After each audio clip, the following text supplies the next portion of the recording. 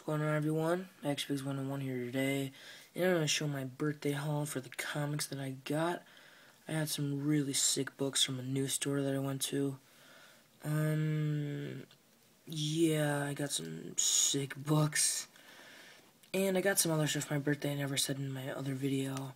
I pre-ordered the Daryl Dixon, the motorcycle figure. It was 35 bucks. Can't complain. It's awesome. And I just went toy hunting, and you guys will see what I got at the end of this video. Oh, and I also got a car, because I turned 15, so I can drive now with the permit. And hopefully I'll be working soon, because uh, I can get a working permit. So the newer book, the newest book I got was X-Force number one. Crappy book, do not get it unless you like X-Force. But I love X-Force, and I hated this book with a passion. Mm, I don't even like the way Phantomex looks. Got some Walking Dead books.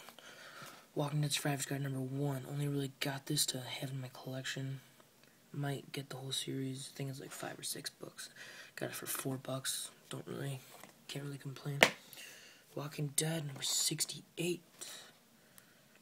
Really nice shape. Paid eight bucks for it. Really nice shape. Now, here's a really good book I was surprised to get for the price. Walking Dead number 80. This is No Way Out Part 1. I got it for 8 bucks. And this book according to eBay, it's worth a lot more, and this one is in really nice shape. We got two Batman books. Batman number 354, Hugo Strange, that, that's who that is. Got it for two bucks, and like, this, nothing wrong with it. I was like, so when I brought it up, I was like, is something wrong with this book? Is like missing a page? He's like, no. I'm like, I have no idea why it's two bucks. And I got Batman, The Dark Knight Returns, Dark Knight Triumphant, which is part two. And oh my god, so happy to get this book for six bucks. It says ten bucks, got him down. Such a thick book too. Six bucks. And just look at the cover. Oh my god. I got one X-Men book.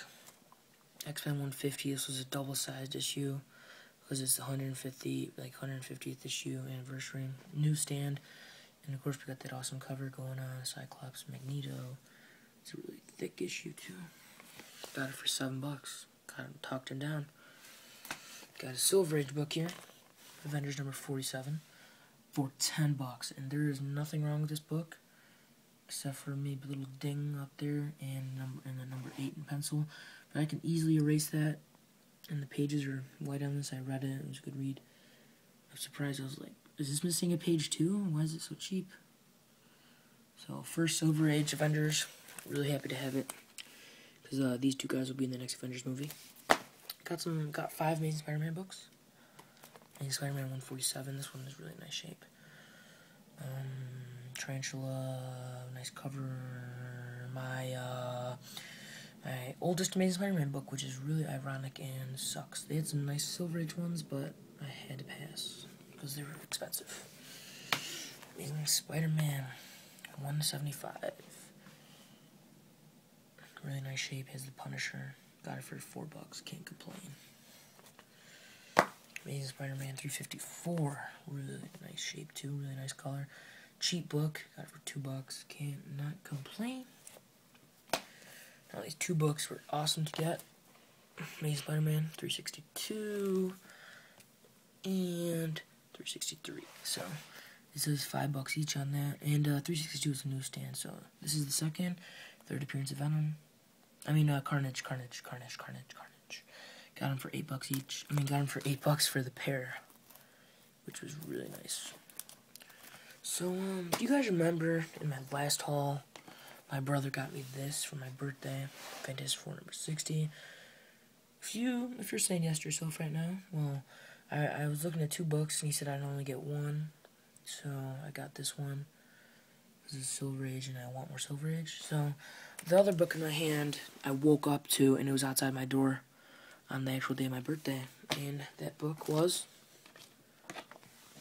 Wolverine number three from the Force Limited series by Chris Claremont and Frank Miller. And what a nice book for 22 bucks. In its newsstand. This is like, geez, this is literally one of the best condition books I have. awesome to have. And I got just got back from Toys R Us, so let's see what I got. I was really looking for. I went to Target and Toys R Us, but Target had nothing. I was really looking for uh, Black Series Boba Fett, but didn't find it. So